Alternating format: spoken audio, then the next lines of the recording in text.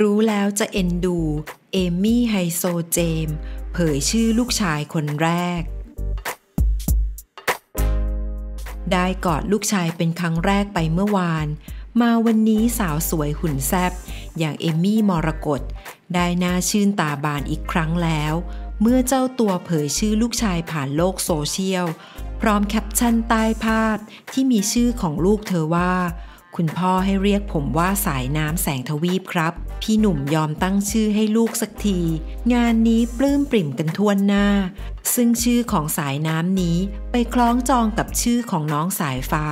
ลูกชายฝาแฝดของชมพู่อารยา เพื่อนสีของเอมี่ด้วย เรียกว่าดีใจแทนคุณเธอและสามีอย่างไฮโซเจมจิรายุทธจริง ๆ เพราะการคลอดก่อนกำหนด และมีเหตุให้ลูกน้อยต้องอยู่ในตู้อบ กว่าจะได้อุ้มกว่าจะได้กอด ก็ผ่านไปหลายวัน มาวันนี้ได้กอดและได้ชื่นชมอย่างสมใจแล้ว แฮปปี้ทั้งแม่และพ่อไปเลยค่ะขอขอบคุณข้อมูลจาก mthai.com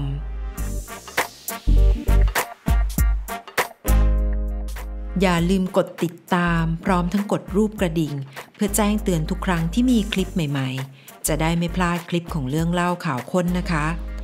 รักทุกคนค่ะ